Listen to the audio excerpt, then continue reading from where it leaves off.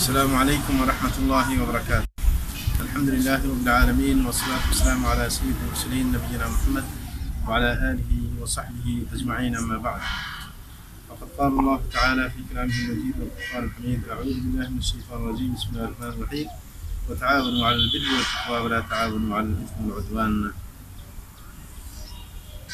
প্রিয় ভাইরা যারা আমাদেরকে আহ, দেখতে পাচ্ছেন এবং আমাদের সাউন্ড শুনতে পাচ্ছেন তাদেরকে উদ্দেশ্য করে একটি আহ, মহান কাজের প্রতি দৃষ্টি আকর্ষণ করতে যাচ্ছি।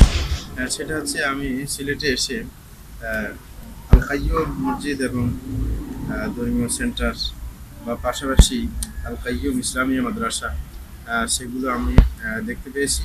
এবং যে সংকটটা আমার চোখে পড়েছে সেটা হচ্ছে, আল মসজিদের দ্বিতীয় তলায় মাদ্রাসা অবস্থিত। এই মাদ্রাসা এখানে দ্বিতীয় তলায় জুমার দিন সালাত আদায় হয়। তাদের ভিন্ন কোনো প্লেস নেই, যে ছাত্ররা স্বাচ্ছন্দ্যভাবে অবস্থান করতে পারে মাদ্রাসার মধ্যে এবং করতে পারে। ভিন্ন একটা অবস্থান অবশ্যই দরকার মসজিদ ছাড়াও। এই কারণে যারা পরিচালনা পরিষদে আসেন তাদের দাবি হচ্ছে যে কোনো ভাই, কোনো দিন দরদি ভাই যদি অগ্রসর হন এই কাজে, যে তৃতীয় তলার কাজটা হাতে নেবেন।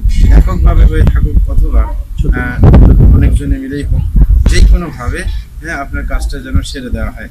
যেটার আপনার খরচ ধরা হচ্ছে সাত লাখ টাকার মতো। সাধারণত যে অত টাকা হলে ইনশাআল্লাহ তৃতীয় তলার কাজটা হয়ে যাবে। আর হয়ে গেলে ছাত্ররা স্বাচ্ছন্দ্যে সেখানে ক্লাসও করতে পারে, থাকতেও পারে খাওয়া দাওয়া সব কিছু সেখানে হওয়া সম্ভব। মসজিদ থেকে ভিন্নভাবে হবে। কারণ তৃতীয় তলা পর্যন্ত পৌঁছলে আসবে না। দ্বিতলায় তাদের জন্য যথেষ্ট হয়ে যাবে। এই কারণে যারা দিন ধরে দিয়ে আসেন, অবশ্যই ব্যক্তিগতভাবেও চেষ্টা করবেন। পাশাপাশি অন্যদেরকে উৎসাহিত করার চেষ্টা করবেন আহ, যেন সবাই মিলে কাজটা সমাধান করা সম্ভব। আসলে আমাদের চাহিদার গুরুত্ব দিতে হবে। যে যেই চাহিদা সামনে আসছে সেই চাহিদা নিজেই পারি অন্যকে আপনার আহ্বান করে পারি যে কোনোভাবে যদি অংশগ্রহণ করি। আহ, যেই দেখ না কেন সম পরিমাণ সব অবশ্যই পেয়ে যাব। রসুল বলছেন মন্ডল্লা আলাফে ইব্রাহিমের হাজির পাইলে যে ব্যক্তি কোনো কাজের ভালো কাজের পরামর্শ দেয় সে কাজটা করলে যে করে সে যতটুকু সব পাবে, যিনি পরামর্শ দিয়েছেন, সে ততটুকু সব পাবে। আর এটা সরকার জারিয়ার ক্ষেত্রেও বটে।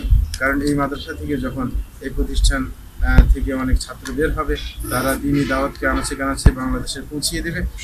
যতটুকু সব তারা অর্জন করবে, তার সম পরিমাণ সব তারাই পাবে, যারা এই প্রতিষ্ঠানে সহযোগিতা করবেন। এই কারণে সবার কাছে আহ্বান জানাচ্ছি যে অবশ্যই সবাই এই প্রতিষ্ঠানের পাশে থাকবেন। এবং এই প্রতিষ্ঠানের শুধু আজকের চাহিদা নয়